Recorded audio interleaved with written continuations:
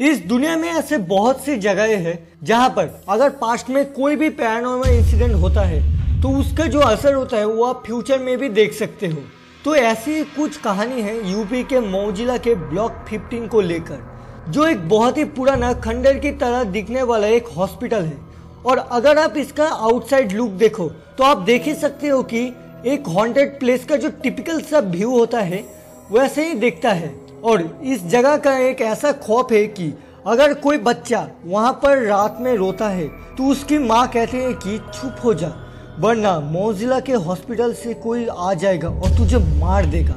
वहाँ पर रात में ना जाने कैसे चीखने चिल्लाने की आवाज़ें आती है, और अगर कोई रात में गुजरने के दौरान वहाँ पर फंस जाए तो वो यही एक्सपेक्ट करते हैं कि जल्दी से यार सुबह हो जाए।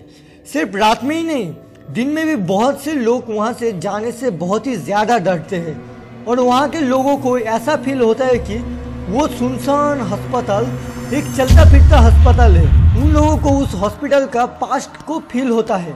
बट जब वहाँ पर अंधेरा होता है तो वहाँ के लोग उस जगह को एकदम सुनसान छोड़ देते हैं। और अगर जाना ही है तो 10 से 15 लोगों का एक ग्रुप बना के जाते हैं। और वहाँ से जब भी कोई गुजरता है तो वहाँ से ज़ोर से चीखने चिल्लाने की आवाज़ें आती है। सो so, इसकी असल कहानी क्या है जिसकी वजह से यहाँ के लोग इतना ज़्यादा खौफ में रहते हैं?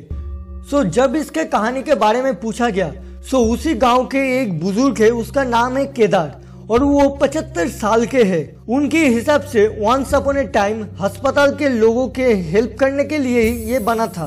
बट एक दिन वहाँ पर दो ग्रुप्स की बहुत ज़ोर से लड़ाई हो गई। और एक ग्रुप मेंबर बहुत ही बुरी तरह से घायल हो गया। और जब उसे इस हॉस्पिटल में लाया गया तो उसका ट्रीटमेंट अच्छी तरह से नहीं हुआ। और वो जिस तरह का इंसान था, और जब उसकी अकाल मृत्यु हुई तो उसके हिसाब से उसकी आत्मा को मुक्ति नहीं हुई। अगर आप किसी भी वेबसाइट पे इस हॉन्टेड मोजिला के सर्च मारते हो तो आपको बहुत सारा डेटा मिल जाएगा इसके बारे में। और जब वो इंसान गुजर गया तो भी उसके बेट से बचाओ बचाओ चिल्लाने की आवाज़ आने लगी है। जैसे वो अपने आप को सेव करने की कोशिश कर रहा है। कुछ दिन तो ये ठीक ही चल रहा था, पर उसके कुछ दिन बाद से हॉन्टेड चीज़ होना शुरू हो गई। डॉक्टर रात में जब अपने शिफ्ट खत्म करके जा रहे थे तो उसके बाद दरवाज़ा अपने आप खुल गया और अजीब तरह से हॉस्पिटल के सारे चीज़ टूटने फूटने लगे। और तभी से लेकर आज तक इस हॉस्पिटल को सबसे ज़्यादा haunted hospital in the India माना जाता है। सो so, इस वीडियो को एक लाइक तो ज़रूर से कर देना और हो सके तो इस वीडियो को अपने दोस्तों के साथ भी ज़रूर से शेयर कर देना।